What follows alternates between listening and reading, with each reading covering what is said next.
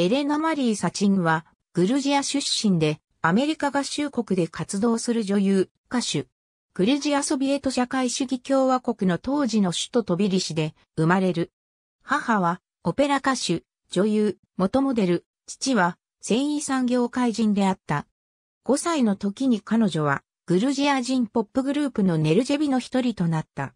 彼女は、ネルジェビと共に、東、ヨーロッパを回って、子供向けバラエティ番組、ユートレナイやズベズダなどへと出演し、後に単独活動へと移った。7歳の時に家族でソチに移り、9歳の時にキノタブルで最年少パフォーマーとなった。1998年に母と共に出張した際にこっそりとプロフェッショナルパフォーミングアーツスクールのオーディションを受ける。両親を説得した後に彼女はニューヨークへと移り、16歳の時に卒業する。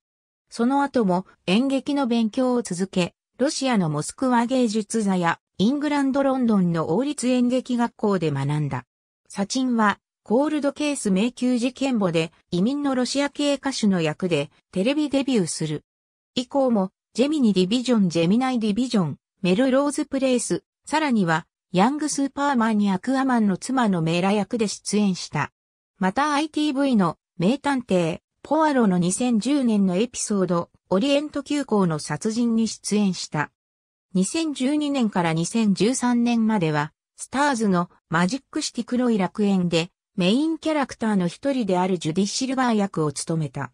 2014年には ABC のエージェント・オブ・シールドでアスガルドのローレライ役を務めた。その後は同じく ABC のリベンジでルイーズ・エリス役を務めた。サチンは当初ゲスト扱いであったが、同シーズン中にメインキャストに昇格した。2013年4月にオールアメリカンリジェクツのタイソン・リッターと婚約し、2013年12月31日に結婚した。ありがとうございます。